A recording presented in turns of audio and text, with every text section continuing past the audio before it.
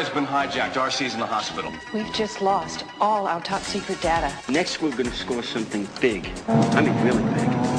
The ferret's no longer under our control. Yahoo!